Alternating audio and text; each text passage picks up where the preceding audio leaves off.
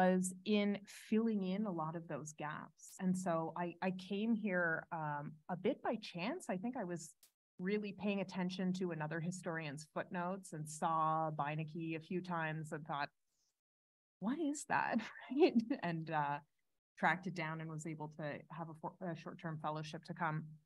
And um, because, as I said, the focus is on the Lesser Antilles as a broader region, what it meant was it the collection gives you this opportunity to pull materials from Grenada while you're also pulling materials about Guadeloupe, about Trinidad, and really gives you this expansive view of the Lesser Antilles as a region. The other thing I think it's really, um, I'm sure Christian will have more insights about this, but the material that is that ended up being collected, some of it is so unique. And um, one of the pieces that I asked Christian to pull today, this is an oath of allegiance made by French colonial subjects in Grenada in 1765 after the island was conquered by and ceded to Great Britain it effectively acts as a census of every free person who was living and remained in Grenada in 1765. And this is manuscript. I believe this would be the only version in the entire world. And so, what this means for the patrimony of, of Grenadians, I think, is, is really important um, to investigate because this is a, a really kind of uh, complete look at who among free people was living in the island at this very crucial moment um, that and i know it's been digitized so that is great in terms of promoting access um, but I, I just think you have such a wonderful treasure trove here and i'm excited to talk more about access and, and what people have been able to do with the collection. Good afternoon. It is a pleasure to be here today and I understand why Christian mentioned the warmth in the Caribbean because it's very cold here. I can't necessarily say I reciprocate the feeling for the cold, but it is a pleasure being able to join my colleagues here at this panel to discuss preserving the historical records of the Lesser Antilles. Because when you're from smaller islands within the region, a lot of emphasis is not necessarily placed on history or preserving some of the primary sources and materials that exist within the islands. I think we have to take into consideration Maslow's hierarchy of needs. So as small developing island states, our priorities have been to meet first basic needs. You have to concentrate on the economic well-being of the islands. You have to concentrate on the social environment. You have to build out your health space, which is a challenge within these regions. You have to build your security and focus on those goals before you can then now elevate to other areas such as, you know, preserving history as valuable as it is. You cannot necessarily tell your population we're about to invest 200,000 into this while not providing for things like healthcare. So that's one of the reasons I'm glad to be here so that we can able we're able to discuss how we can continue to partner as well with institutions such as Hamilton, who would have came in under with Christian here and some of the team from students at this institution and done some of the digitization work within Nevis. And you might have more resources in terms of space, storage space. We don't have access to even the amount of storage that is required in digital space to host those type of documents. So right now we have a sharing type agreement going where you benefit by accessing our primary resources and we are able to out as well benefit from being able to have those hosted and have similar access to those resources. So this is going to be a good conversation today. I studied at the University of the West Indies, and a lot of the focus was Caribbean history. But even within the region, you'd find that Caribbean history tends to focus primarily on Trinidad, Jamaica, Barbados, the bigger islands. So my class was, you know, like 99% Trinidadians at the time, and I would have to interject, oh, and the Lesser Antilles, and oh, and St. Kitts and Nevis. So I wished that at that point I knew about the Beinecke collection because I don't think a lot of Caribbean academics even might know that this resource exists. So I would have loved to have been able to tap into that and pull sources and be able to share with the class because the lecturers were always very open as well to learn new information that they didn't have access to. So I think part of the goal of preserving the historical record is also promoting that it's there, how to access it, and encourage individuals within the region to use it.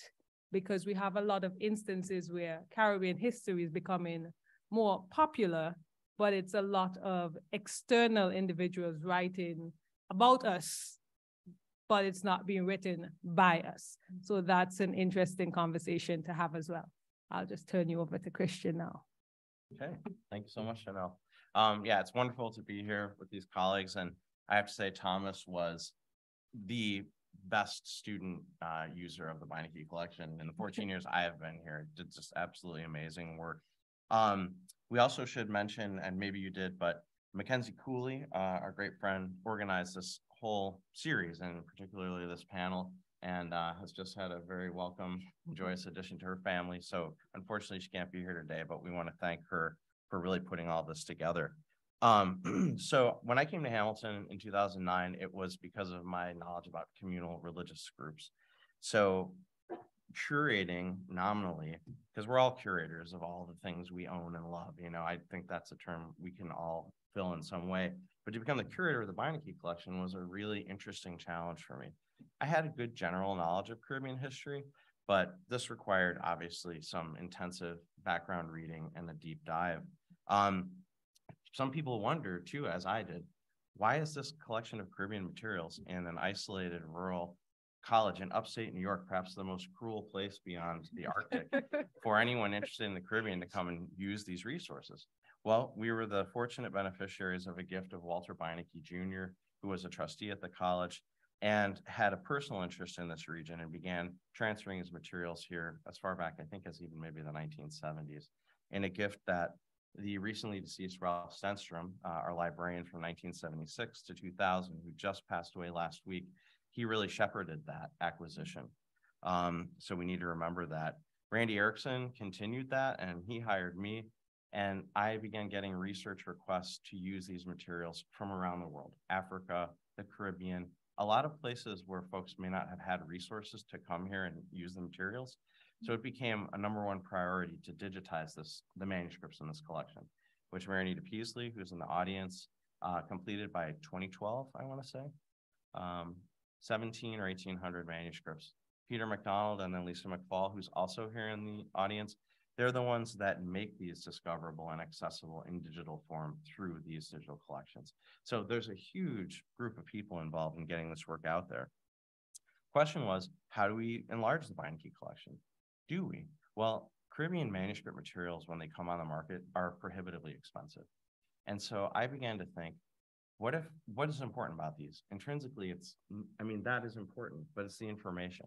So can we as a college partner with an under-resourced institution to help them make their collections uh, discoverable and accessible and preserve that content? And of course, Nevis was the first island to come to mind because that's where our namesake Alexander Hamilton was born. Um, and so with um, the help of a man named Everson Hull, a Nevisian ambassador to um, the Organization of American States, and Joe Shelley's predecessor, Dave Smallen, and then Joe Shelley himself, the head of LITS, and a generous trustee donor, we were able to initiate a series of trips to the island to digitize these materials. But most importantly, leave the originals with the people that they belong to. So it's a really satisfying work. Great. Thank you all for, for these introductions. Now we're gonna move into the roundtable portion of, of today's talk where we have several different discussion points, which um, all of you are welcome to, to answer or field a response to any topic, although I will direct certain questions to certain participants to, to speak first. So our first topic of conversation concerns um, kind of topics of diaspora and archive. And this is an example of a question that is open to all. We want to just hear whatever you have to think. Um, so how, when we're looking at these archives, when we're constructing them, and most of all, when we are stewarding them and continuing to curate them, as Christian just noted, how do we consider overlapping histories of current inhabitants and ancestral claims to Caribbean histories, especially in light of the entire region's history of intermobility, as Tessa noted on, forced migrations, and cultural mixing? Whoever wants to take this first. Okay, yes, I'll take it first. I think we have to be conscious of the Caribbean region as one space but multiple different spaces all at the same time because we had several instances of mass movement across the region. So you would have ancestry from St. Kitts and Nevis in Santo Domingo, the Dominican Republic, in Grenada, in Trinidad as well. So we really have to interrogate the information from the local sphere while also making those connections with other islands and other regions. So the idea is to be able to make the data accessible across the region so that you can encourage academics, just individuals who are interested to be able to pinpoint those connections in a way so that we can see the similarities and the relationships that would have formed across borders. You can also attempt to trace things. So if you're looking at maritime history of Nevis, you want to be able to expand your scope and look at where Nevisian shipments were going or what shipments were coming into Nevis, and then let that help to guide your path of study. So that's that's the idea that I think I would like to see in that area. Um, one thought that I had was and Jahnel and I were talking about this the other day with all of the genetic testing now available that helps really drill down into ethnic origins of different populations. We tend to think of the islands as they were possessed by different European powers, were traded, conquered amongst them. Um, but what we forget is in those islands, and the, the manuscript at far left there bears this out, we have the rosters of the enslaved people on these estates and their nationalities or ethnicities, I should say, when given, if we're lucky enough to have them, we'll say Congo, Igbo, Ashanti, Coromantee, these different things. And that's information where the Caribbean region writ large, those lines are so blurred because of where those people were transported from and then to. And so a greater digital pool for research when that information is present in the sources could make all kinds of interesting connections that are largely otherwise completely lost in the absence of the new science of, of this genetic research. Yeah, I think this is where um, Jahnel's earlier comment about kind of the, the needs of the present day population also comes into play because in addition to the African diaspora, as, as Jahnel was alluding to, there's also these diasporas within the Caribbean yes. um, where people who live in one island, their ancestors may have moved there um, for work opportunities or as I'm finding with my current project, their ancestors may actually have been like trafficked from one island to mm-hmm. another as enslaved people um, to an extent that databases that treat people in, in terms of um, commodities. So there is a, a, a database of inter-American slave voyages, but a lot of enslaved people were moved between islands um, by enslavers who carried them between those places without engaging in sale. And so there's certain documents that allow us to kind of perceive that movement that isn't otherwise captured.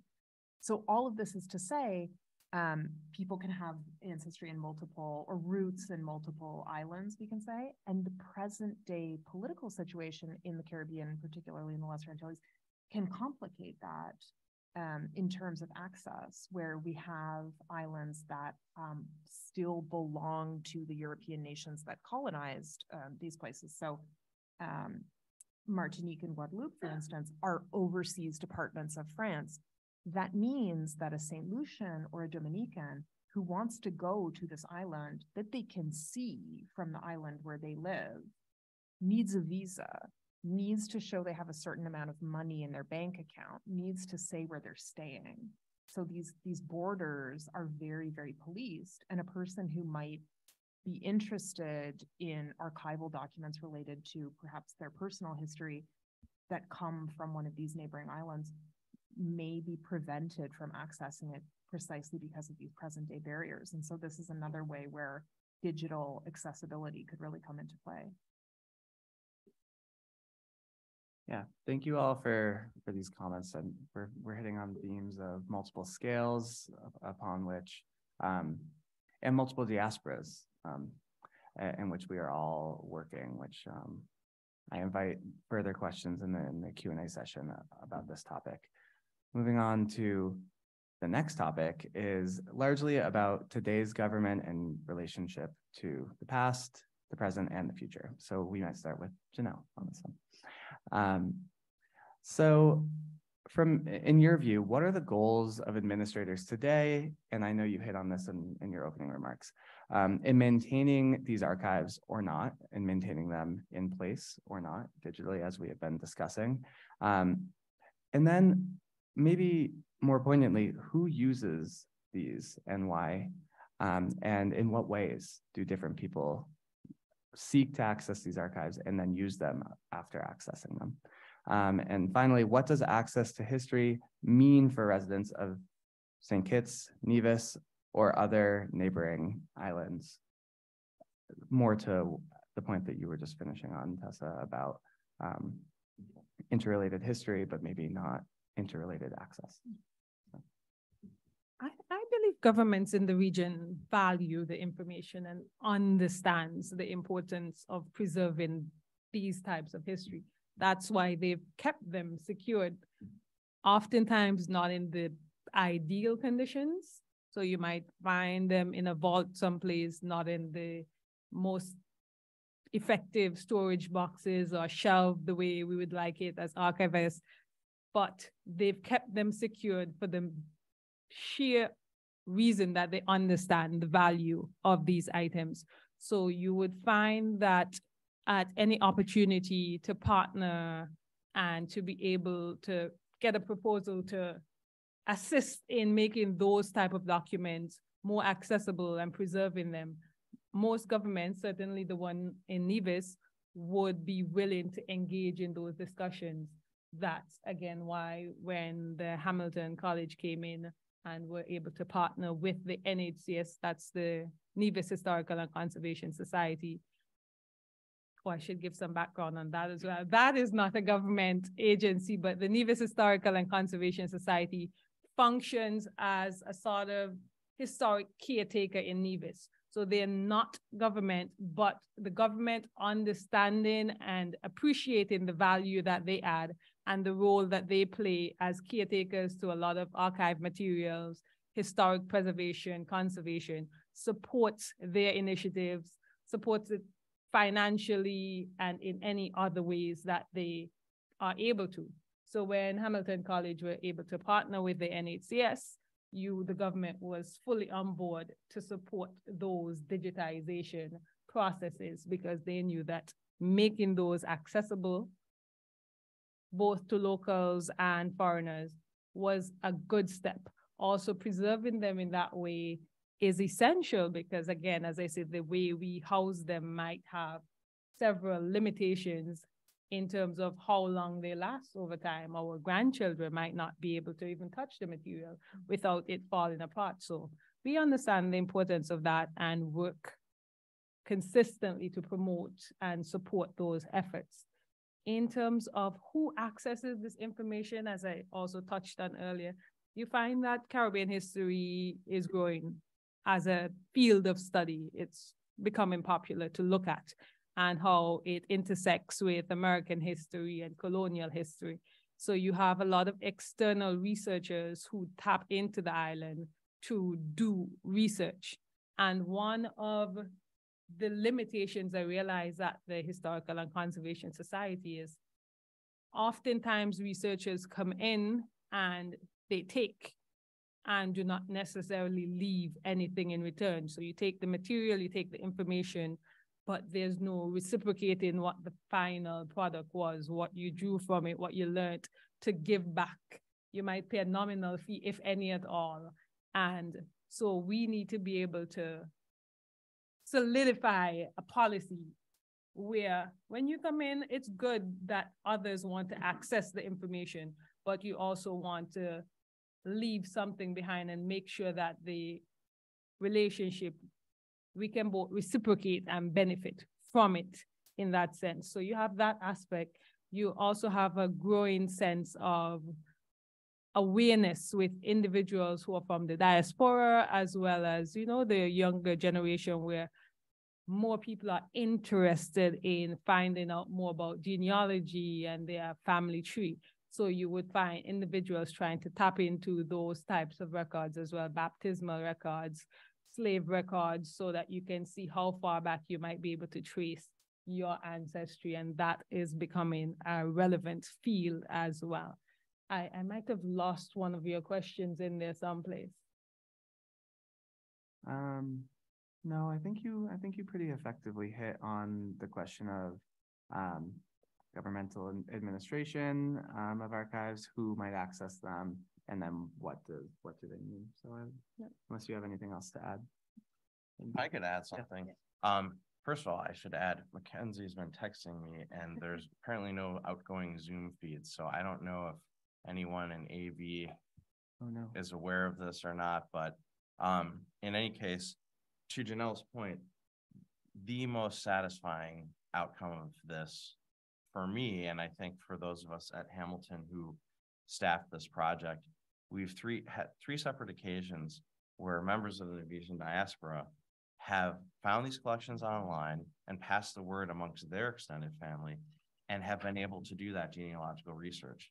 And I remember particularly one woman in Florida, just, she wrote this effusive thank you letter for, you know, putting these records online. She said, I, she had found all these different relatives and she said, I found the, the records of slavery sad, but the records of baptism and marriage joyful, you know? And so this is the type of raw material. I might go down there and, oh, there's the surrender letters of Nevis to the French admiral in seventeen eighty-two. Like, I'm really excited about that. But honestly, that's a well-known story. For the other people searching for their family, this is really um, kind of a watershed moment here. Tessa, do you have anything to add? Um, I, I think I just, uh, want to echo Jahnel's point about the importance of, um, members of the diaspora and then the importance of government or, or other kind of community organizations in, in promoting access to these materials. It's remarkable within the different islands where I've conducted research, the effect that a, a single invested government official or invested historian can have. So the island of Dominica, for example, which is not the Dominican Republic, it's a different island. Uh, it's a small island of about 80,000 people resident on the island. The diaspora is actually much larger. So more Dominicans live outside of Dominica than, than on the island. And um, one Dominican, Lennox Honeychurch, um, went and got a PhD in the UK. And then he went back and made his career on Dominica. And that entailed, uh, as part, you know, um, investing in historical sites and really investing in the archive. And so although Dominica is n- not a wealthy country by any means, um, their archive there is quite accessible because a very dedicated individual made a catalog and figured out an organizational system. Now, I think your point about hierarchy of needs is so mm-hmm. crucial there, where he was able to do that, mm-hmm. right? Which means the other parts of his life were already kind of taken care of, right? And so uh, that's not true in other places. Um, one example that comes to mind is Grenada has such a really, really, really rich archive. And in two thousand and four, Hurricane Ivan took the roof off the archive. And it's never been repaired. And so all of the archival material that looks like this or is loosely to Jahnel's point about, you know, future generations literally not being able to touch documents because they will they will crumble in your hands because they've been exposed to humidity, worms. You'll see silverfish in the papers sometimes. I mean, just really difficult um, uh, physical preservation. All of those documents were moved to the basement of the Grenada Registry Office, which still operates as the, the registry office for the island. So if you want to do research there, you get in a line of people out the door who are there trying to get title to their family's lands in the present day. And so the, the, the archive, such as it is, you know, is, is being held in a place where at least it won't turn to dust, but is not cataloged, is not organized, because that's not the priority. The priority are, are of course, the people there in the present day um, seeking access to their to their family lands. And so um, the my, my experience is that members of the diaspora from these different islands that I've worked on um, are much more invested in this history precisely because having left the islands and and made their lives often in New York City, they now have time to kind of think about their families, their genealogies, and their history. And so they've been among the more active kind of um, interlocutors for, for my own work. Yeah, but I'm, I'll be interested to see that evolve too. I'd, I'd love to hear more about how you think um, people in Nevis engage or don't with this history. Like, is it of interest to them and what particularly is of interest? See, in Nevis, see the same Nevis Historical and Conservation Yeah. Society, it was basically built upon what you're describing. Individuals who now had made it in life Mhm. to say, and they're connected with the island. They have time on their hands, they have money on their hands, they have interest. And so they now put, gathered themselves together and formed this group with these type of aims.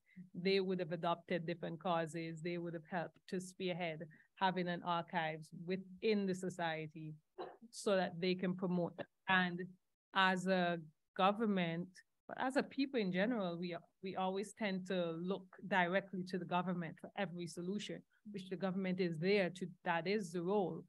But things can be accomplished sometimes much quicker, even more efficiently sometimes when civil society decides that, hey, we have a role to play and we can do it, so let's mm-hmm. actively get involved and do that. So that would have happened in Nevis in terms of the society. And Nevisians, I wouldn't say a large cross section try to access these materials, but again, a lot of individuals do, and they're very interested in the marriage records and the baptismal records and those type of records that helps to trace their family history and relationships in that sense. This is a great way to access our next point of conversation. Uh, first, do, do we have the Zoom up? It sounds like it. Great. Okay. Um, the next question, if you'll indulge, um, is a bit more about the brass tacks of archival maintenance. Um, so we might start with Christian, and really this accesses some of the points that um, both Tessa and Jahnel just finished speaking about, about um, kind of connection and separation, um, the role of, of weather and the environment and um, continual maintenance. So one of the things that makes the Beinecke uh, collection special is that it includes materials from the entire Lesser Antilles as a region, as Tessa remarked on in her opening remarks.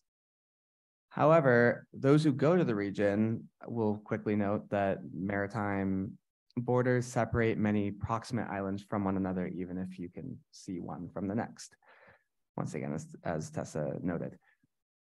So Christian, how does this separation work politically um, for administrators and then for you, I guess, um, this is re- really the question for you. How does this affect how you manage collections, how you how you collect in in, in the first place, um, and and how from your your role here at Hamilton, how you go out into the Caribbean to try to um, to try to increase the the breadth and um, and the scope of the Lesser Antilles collection. Sure. Um, so as I mentioned, we, we don't add all that much in the way of new physical material to the Beinecke collection. I could exhaust my annual budget pretty quickly buying, you know, good Caribbean material. I had four pamphlets offered to me, uh, printed in the, in the Caribbean in the eighteenth century. It was twenty thousand dollars for the four pamphlets, you know, these are printed things, they're not unique. So I'm not gonna spend that money. Um, but what we can bring to bear that I think should have universal appeal across all those borders you mentioned is our expertise and the support we can offer. And so Jeremy Katz, who's in our audience, is our archivist. Um, we have a great photo of him in the Nevis Historical and Conservation Yes. Society office with the archival box in his hand, a Panama hat on his head, and a giant smile on his face. So uh, he said it's like the archivist's dream to get to go do something like that. And, and so that's where, again, with the support of folks like Joe and our donor, we're broadening our collection in a resource sense by offering these services. Where that goes from here, I'm not sure. It's also an important educational opportunity we can offer. And one of the students that was with us in St. Kitts and Nevis, Emma Tomlins is there. She's still working in the Beinecke collection, even after um, she did the work in the islands. Um, so it, it can be a two-way relationship. The beneficiary can be a student learning. It can be folks like Jahnel's talked about in the diaspora. And I think that we would have to partner with islands that particularly are under-resourced. I've noticed a lot of the now core EU islands seem to have better access. Um, Tessa mentioned, you know, the French overseas departments, they're tied into state-run things. Whereas in St. Kitts and Nevis, there was some university-based things coming from England in terms of digitization, but I haven't seen the same kind of national archives related um, mounting of resources from the islands. Colonial records in England, different story. Um, but so I think there are some gaps we could fill if we wanted to.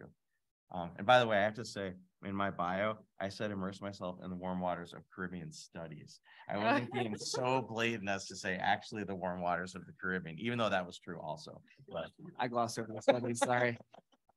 so anyway, I hope that answered your question, but Um, it does. okay. If anyone has other remarks, or we can move Yeah, to the I can chip in on that one because I think what stood out to me is the fact that you talked about how close the islands can be because St. Kitts and Nevis is one country. It's two islands and there's only a two mile strip between us of ocean. So technically you can stay on Nevis and you can see St. Kitts. We just had a cross channel swim last week actually where hundreds of people came in to swim from one island to the next. So that's how close it is. But even within one country and two islands that close, there's separation of materials. When St. Kitts and Nevis became one space, united back in 1882, a lot of the records from Nevis would have then been shipped over to St. Kitts to store there. So a lot of our material from Nevis would now be in St. Kitts and we don't necessarily I'm sure you can get access, but you don't have the everyday access to it. You don't have a transcript of it per se. Someone would have to go in and actively research that to make it accessible to the average person. And so you have that type of separation in terms of once there's a body of water, no matter how tiny, it creates that divide and we have to actively work to bridge that. And honestly, the digital space is probably our best bet. Thank you both. Um, picking up on something that Christian was talking about, um, one of the key aspects of Hamilton's activities and investments in the Beinecke Lesser Antilles collection is to promote student access to these archival materials. Um, so I'm wondering if you could, and um, I could maybe help out, but if we could describe student access to the Lesser Antilles collection at Hamilton, both here in Clinton and in places like Nevis and St. Kitts. Sure. Um, it's total. In one word, I mean, there's nothing we have that a student can't put their hands on, and that can be shocking to some people that experience it, but um, you know, we have a very intelligent student body here at Hamilton, and they surely can be told the basics of how you handle an archival document.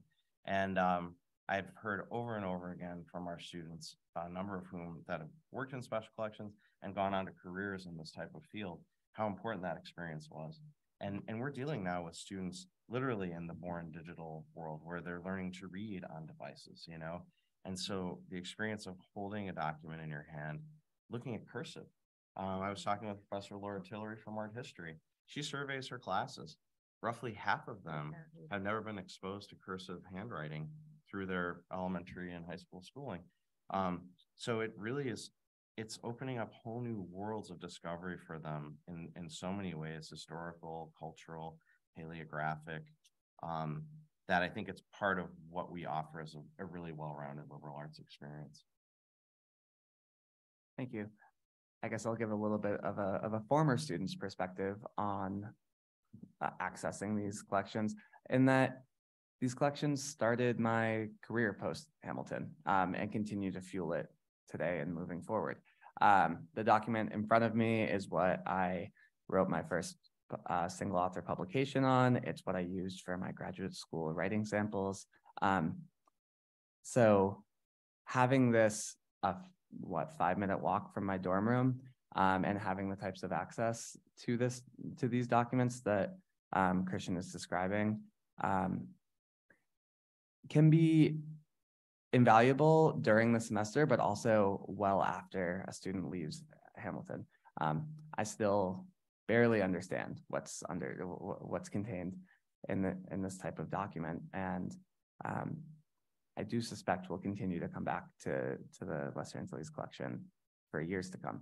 So this is all to say that um, it's not just as simple as a show and tell. Sometimes this is a, a legitimate um, and ongoing source of knowledge and inquiry um, and academic development. Um, so if anybody else has anything to say about this, you're welcome to, or we can move on. Within the, you asked about access to the to the collection. And to be quite honest, I don't think a lot of people in the region even knows the collection exists, let alone access it. And if you do know it exists and you try to access it, if you do not know what you're looking for in that digital space, it can also prove to be a challenge. So I think part of expanding access to the collection would be to at least partner with the key universities in the West Indies and the Caribbean. So this collection should be a core aspect of history at the University of the West Indies. So to whoever is in charge of that should reach out to the University of the West Indies so that their history students now can know that this resource exists and be able to access and utilize that. Within say, secondary school, sixth formers, college students, I'm not certain any of them would have ever accessed this information within the Federation. And ju- so Jahnel, you're suggesting it- it would be valuable for me to go to Jamaica, Barbados, Trinidad to carry the word, like I bring the URL. Yes, yes, yes, you I'll can be, it. you can be the shepherd. Sounds like a, a year of, of uh, work abroad for you. Christian. Difficult sacrifice. Um, I'm now gonna turn us to Tessa, where we might talk about multiple colonialisms um, that are contained within each document, the collection of the whole, um, and just history of the region. So many Caribbean islands have complex colonial histories, as I think is well established by what we've already been talking about. Um, often having been ruled by multiple European powers, each island contains multitudes in a very real sense. So how did these multiple colonialisms play out in local politics and in history more broadly? What is the interplay between those two threads? Um, what presence do these multiple colonialisms have in, in history we can access about the region and we can create moving forward in partnership with inhabitants of the Caribbean? Yeah, great question. Um, I think it's it's particularly salient for the Lesser Antilles because these were islands that by and large were colonized a little bit later. So when when Europeans arrived in the Americas, they first went colonized the Spanish colonized the Greater Antilles, and it really wasn't until um, the 17th century that other European powers, the French, the English, the Dutch, started to try and establish colonies uh, with mixed success in the Lesser Antilles because uh, despite what earlier historians told us, there were in fact very powerful indigenous populations in these islands, in many cases chasing out the Europeans who, who tried to invade. Um, what this meant was that many of the islands, St. Kitts included, of course, which was shared between the English and French um, in the early colonial period, kind of got batted back and forth between these colonial powers. Um, and that means that their history may be dispersed across multiple colonial archives. And so as I was embarking on this project, I was told, well, you're not going to be able to find anything about X, you know, St. Lucia being an example, because it wasn't a colony until 1763. And it's true that you wouldn't, no, that's not a good example. Dominica was not a colony until 1763 when it became a colony of um, Great Britain. And it's true that you wouldn't find things about Dominica in the British colonial archives, but you would in the French colonial archives because there had been an informal settlement. And so if you looked at um, Martinique and our Guadeloupean colonial correspondence, there would be a lot of discussion about, hey, what's happening in that island that's between our two islands, right? Same for um, St. Lucia, which was first French and later British. So it, it requires kind of a multi-archival vantage point in order to understand um, this layered colonial history of what's actually happening in the islands. If you accept the fact that the history of the Caribbean only begins at the moment that a given island becomes a formal colony, then you're going to miss all of this other history. And so it, it really requires looking in other places for mentions of what are the Spanish saying about St. Kitts in the 16th century, despite the fact that they have not um, uh, successfully colonized that place. So that's, I feel like I missed part of your question, but from an archival standpoint, that's what I would say, that it really requires kind of um, a multi-archival approach in order to understand um, like the the real history, right? What's actually happening rather than what colonial powers were um, trying to project was happening in these spaces. I could add to that, even where you have one national administration, like the British Leeward Islands colony, Mhm. where you have four separate islands with different past histories, as Tessa mentioned, of, you know, multiple nations on one island. The, the top guys in that administration are corresponding, but they're talking about affairs in all those islands, you know? And the ships are patrolling among all those islands. So it really, researching the history of just Nevis, for instance, would require a very big net, looking at a lot of other places to capture the information. Yeah, and as um, members of the panel and a few other uh, community members were looking at earlier today, there were maps of, uh, take Guadeloupe, for instance, which is really a collection of like eight different islands, if you could, if you count them all. Um, but we treat it as one independent entity. Um, so yes, just this idea of multiplicity um, and and constantly shifting scales is uh, is important. Did you have something to add, Jahnel? Yeah, because you talked about the different colonial powers and how that manifests locally.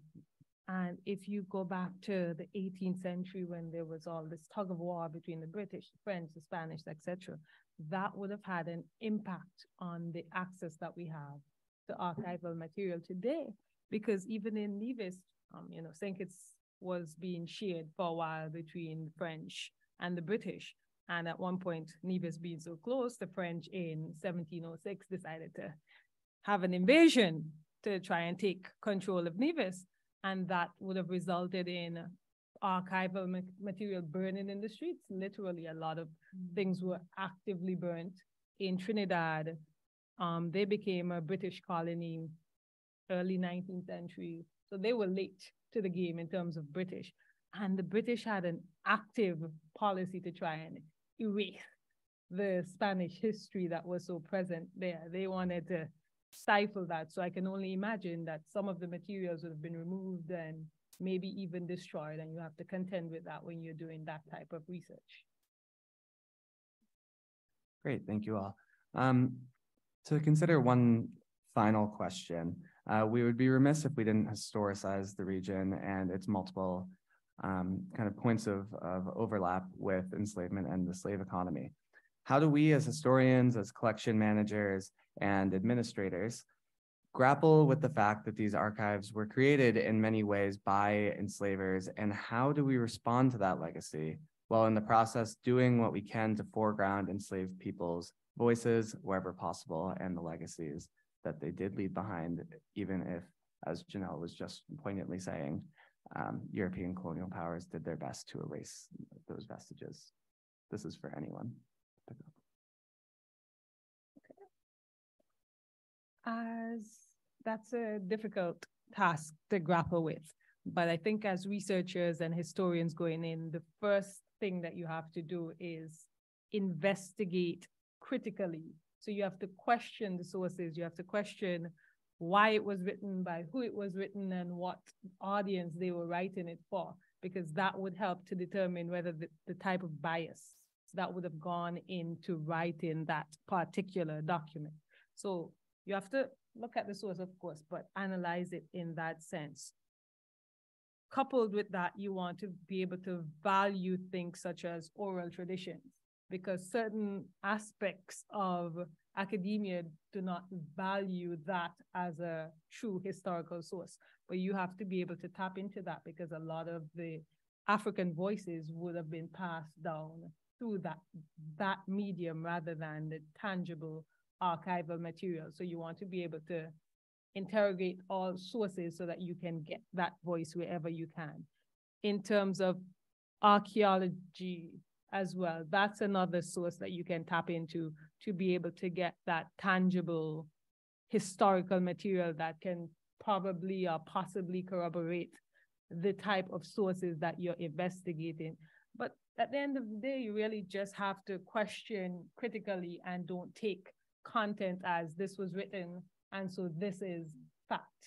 As well as we have a tendency sometimes as researchers and academics to, if one researcher would have transcribed something before and documented it, we just take their version wholesale, like, yeah, that was already done. You write based on that rather than the original source, which had you interrogated that, you would have found a whole different perspective that would shed light to voices of individuals who don't have that voice in a lot of our historical material. Uh, I would like the historian to have the final word on this, but for myself, I will say, um, special collections is a place where we deal with difficult materials. And I am hundred percent for the preservation of all of history, all the voices. Um, and my job with regard to this collection is preservation discovery and access. And, uh, and so that I view as my role, but I do think it's, you know, more important than ever that we foreground those historically marginalized and disenfranchised voices where we can so that we can explore the full story of, of history. Mm-hmm. Yeah, I think Jahnel's point about um, bias and really interrogating sources is such an important one. Um, and I think the Caribbean has given us so many um, theorists and thinkers who have allowed us to really grapple with the role of power in the production of history, right? So, I mean, Eric Williams, Eric Williams, the Trinidadian one, but uh, Michel Trouillot from Haiti, for instance, um, Marisa Fuentes, who uh, is American but works on Barbados, really reckoning with um, the production of sources whose perspective is being um, highlighted, valued, and who's is being devalued in those sources and asking us to engage with them really critically. So I think one of the best things we can do going forward is take the the words of Caribbean people and bear them in mind as we um, engage with the sources that are available to us.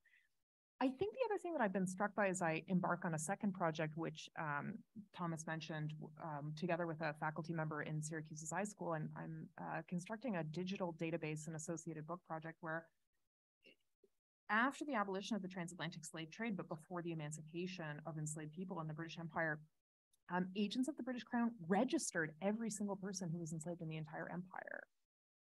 We have an, uh, rosters, basically, for the British Caribbean of 700,000 individuals by name. And what's been done with those um, is a really detailed demographic study, but that doesn't really grapple with the people whose names are contained in these registers as individuals.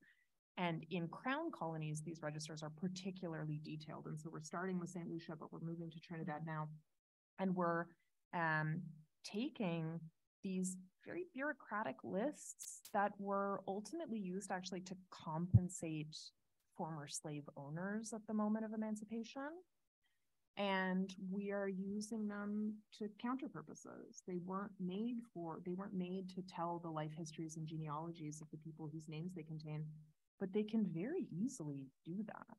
And um, I think the, the plan moving forward is to hopefully partner um, with agencies in the islands that we're working on and see what members of the community there want done with these things because it is ultimately their ancestors and their ancestors um, experiences and their family trees that are contained within these documents that have otherwise been used for very bureaucratic purposes. And so I think moving forward, it's wonderful to have these kinds of conversations because I think exactly what you said about the importance of partnering um, with people on the islands, making sure that you are giving back and that you're when you're doing this kind of research you're you're also building something that's useful to the people whose ancestors you're researching and whose history you're researching i think should be at the, the forefront um, of uh, projects dealing with caribbean history going forward and i think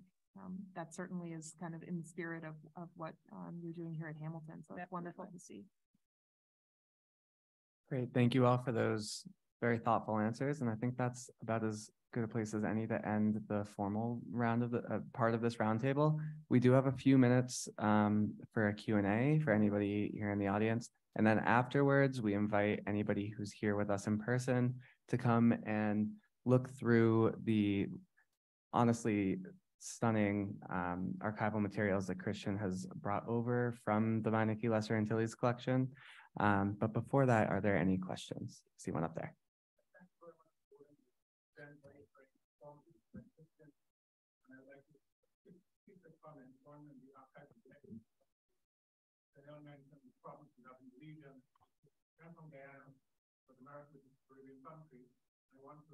Caribbean country. I want to, I to some thoughts against the of the Caribbean on the. We are on the islands now. We have and Guyana and things like that. But I want to salute uh, Danielle and Robert and, and, uh, and uh, Christian is talking about the issue of the preservation of records. In my country, I was an archive and a group of workmen came and talked and kept files from the 19th century so moved another place on the ground and that, that was the end of it. And the heat is problem as well. So I identify some things which I mentioned. Secondly, uh, this year will be the 200th anniversary of the Demerara uprising in Guyana, one of the largest uprisings along with contiguous with Barbados in, the early 19th century. And uh, one of the leaders of the revolt, Jack Gladstone, he was not assassinated or, or executed like the rest of the leaders. He was deported to Grenada so I'm pretty interested if you have anything in the Beinecke, what happened to that Gladstone after deportation. We didn't want to make him be deported. And finally, um, uh, just to reiterate that um, I think that the, the nature of the Caribbean as a very entity and sharing of, of records that Beinecke has is very remarkable. I think it's a powerful place to start in all kinds. But again, um, I'm from Guyana and we are a big part Well, that's a very important point. Yeah, I feel stupid, honestly, not even thinking about that. But to your question, there's a few Gladstone entries in the index, so we can check that out later. But I happened to pull a broadside from Trinidad declaring martial law. The year on it is 1823. And we were saying, what happened in 1823? Well, it must have been British wide lockdown in, in reaction to the slave revolt that you're talking about. So that's a pretty amazing coincidence because we didn't know that. I just was like, here's a cool big broadside. Mm. I'll pull this one out for the table. So I'm gonna have a look at that. Yeah, I think um, your questions are are um, are amazing. Thank you so much. I think we would all agree, or I'll at least speak for myself um, and welcome others to speak, um, that it's imperative to, as we've hit on throughout this talk, to look at the Caribbean both in terms of um, multiple diasporas, multiple scales, and and multiple temporalities. Um, which I say that to um, to say yes, we we um, it's very important to consider places like Guyana as Im imperative to the Caribbean um, fabric of the past and and future. Um, and just also thank you for those wonderful um, and thought provoking questions.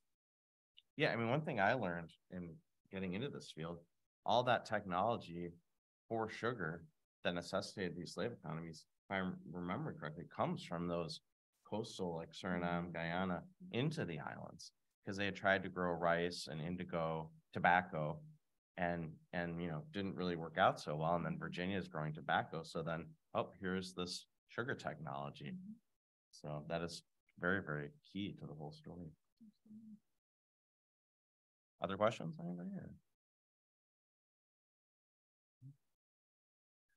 Okay, then, thank you. Oh, do you have a question? Okay.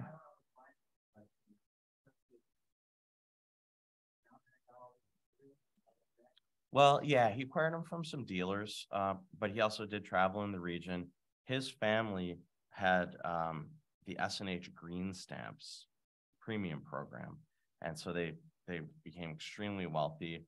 Endowed the library at Yale, the Beinecke Library, which Thomas now is a grad student at Yale, and he he cites the Beinecke collection. And what happens?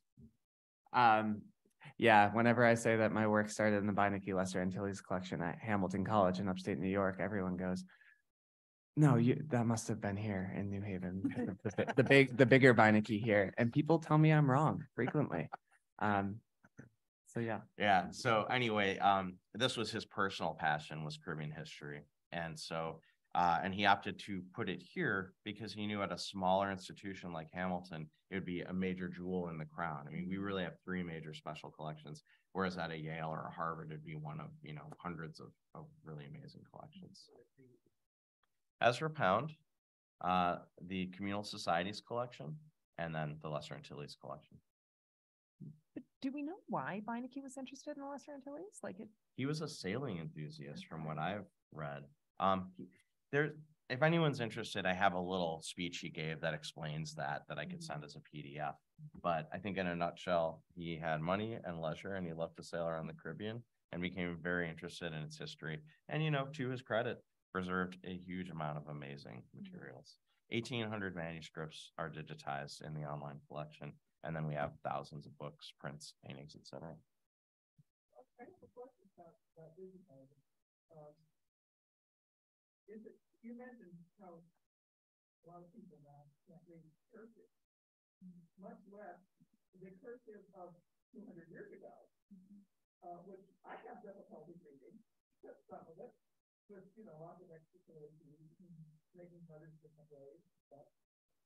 is it possible yet to transcribe these by computer?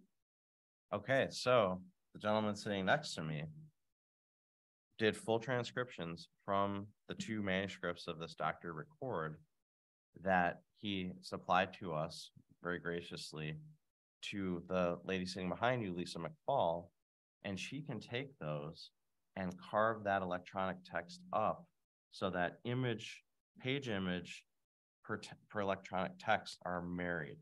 And so you can search the text of the document you know, just like you would con- control F search anything.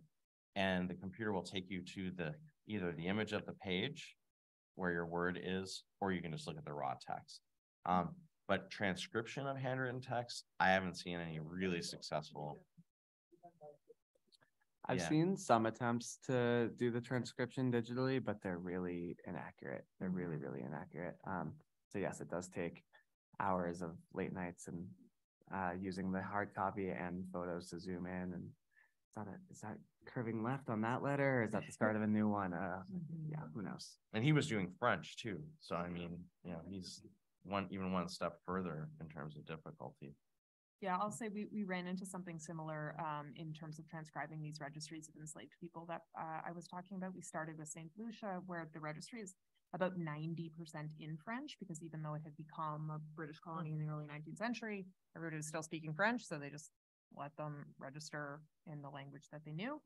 Um, and my partner in the School of Information Studies tried to run, um, optical character recognition, OCR on it, and he just said, this produces a, a totally garbled text, and so there's still value to learning paleography. This is, take this to your students, right? And so we, we had to find, this is harder at Syracuse University than maybe it would be at Hamilton, uh, students who could read nine, early nineteenth century French. And let me tell you, they are few and far between. Uh, but we did find some and, um, they, they were able to, to transcribe this, but it, it certainly, I think the, the kind of work that you did there is still really necessary in order to make these um, handwritten documents a lot more accessible. Emma, do you want to say a sentence or two about working with the seventeenth century English things you're working with right now? I mean, not to put you on the spot, but you're doing this right now.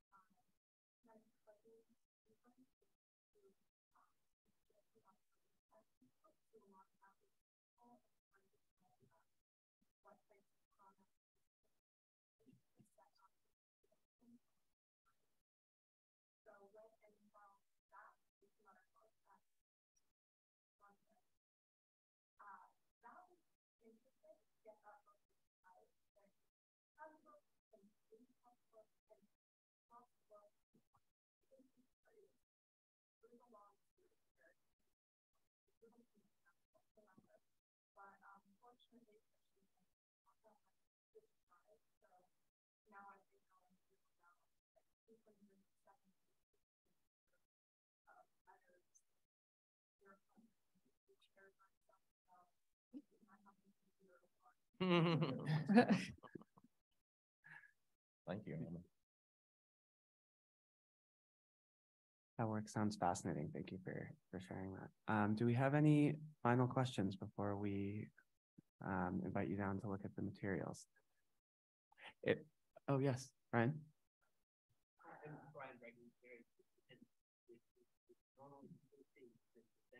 Thank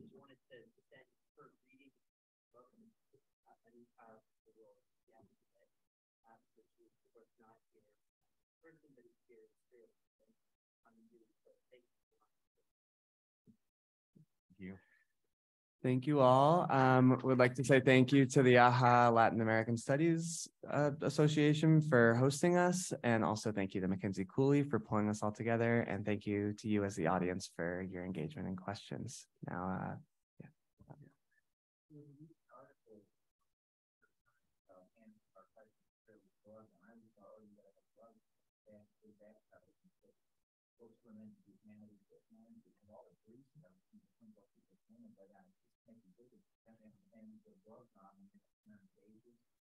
It's true, yeah, and and I would just say, we don't require people to wear gloves. We do ask for clean hands. And I will say that with the materials out here, um, you you should just really look at the pages that are open.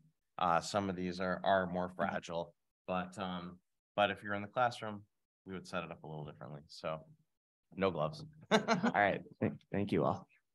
Oh. well. Hey, thanks for coming. So this is Joe Shelley. Hi. The pleasure.